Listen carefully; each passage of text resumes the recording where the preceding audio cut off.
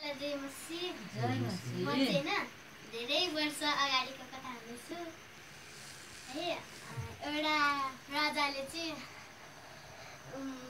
के अरे एउटा अब सबैलाई छोरा पायो भने चाहिँ जिउँदै राख्ने छोरी पायो भने छोरी पायो भने चाहिँ जिउँदै राख्ने छोरा पायो भने चाहिँ मारिदिनु भनेको थियो अनि एउटा स्त्रीले चाहिँ गर्भवती भएर एउटा बच्चा पाएछन्। उसले चाहिँ अनि उसले चाहिँ उसको चाहिँ मुख सुन्दर भएर चाहिँ उसले उसले मार्न सकेन नि उसले चाहिँ लुकाइराखेको उसले दुई तिन वर्ष भएपछि चाहिँ उसले लुकाउन सकेनन्। अनि त्यसपछि उसको अनि उसले चाहिँ एउटा टोकरीमा हालेर नदीमा एउटा टोकरीमा हालेर नदीमा हाल्यो।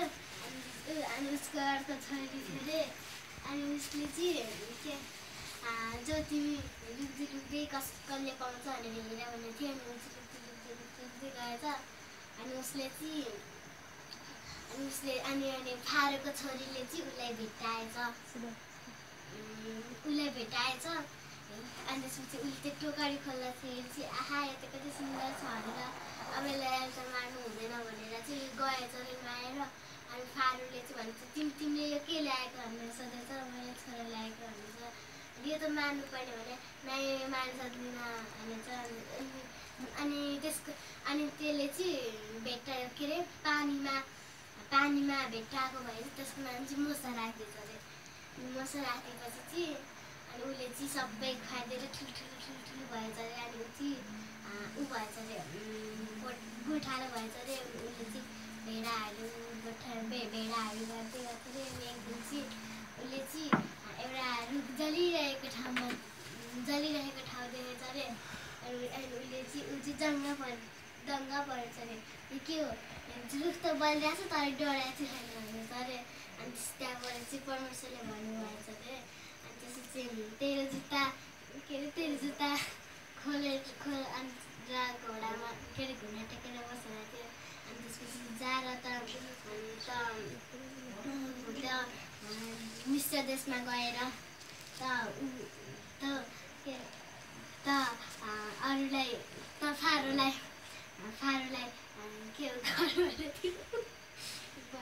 थियो अनि ऊ चाहिँ अनि तँलाई म कसरी गर्नु भने त्यसपछि तेरो यो लट्ठी भुइँमा राख भन्नेछ अरे लट्ठी भुइँमा राखेछ अरे अनि सर्प बन्नेछ अरे फेरि सर्प बन्नेछ अरे अनि फेरि फेरि तेरो हात अनि अनि फेरि ऊ डराएछ अरे अनि फेरि म त नडरा सर्पको पछाडि सर्पको पुच्छामा समान भन्छ सर्प भनेपछि फेरि लट्ठी भनेछ अरे अनि तेरो हात उता मुनि राख भन्दा फेरि अनि त्यसपछि राख्दाखेरि ऊ कष्ट रूपको गएछ अरे फेरि उसले राख्दैछ अरे अनि फेरि चाहिँ फेरि उस्तै थियो अरे उस्तै भयो त्यस- ऊ चाहिँ गएछ अनि त्यसपछि फारोलाई भेटेर फारोले तिमी को भन्दैछ अरे म मसा हो भन्दा तिमी तिमी के लिएर आएको यो अनि म चाहिँ म चाहिँ इजरायलहरूलाई छुट्टी दिन आएको भनेको भनेको अनि त्यसपछि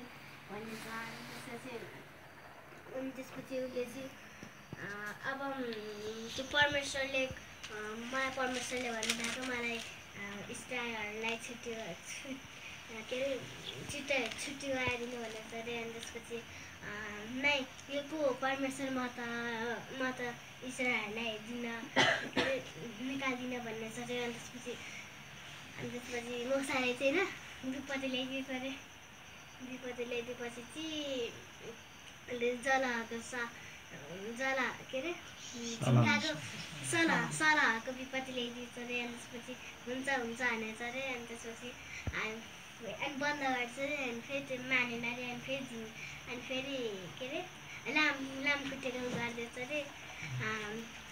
हुन्छ भन्ने थियो फेरि बन्द गरिदिएपछि हुँदैन भन्ने थियो अनि त्यसपछि त्यसले चाहिँ समुद्र अनि फेरि समुद्रमा रगतहरू समुद्रमा चाहिँ खानेपानी सबै रगतै रगत बनाइदिन्छ अरे अब चाहिँ अब चाहिँ हुन्छ भनेको थियो। अनि त्यसपछि फेरि बनाएपछि चाहिँ फेरि हुँदैन भन्छ। अनि परमेश्वरले चाहिँ अन्तिम त्यसको छोरालाई मारिदिएछ अरे। अनि त्यसपछि बल्ल फारोले चाहिँ छोरालाई के स्टाइलहरूलाई छोडिसकेँ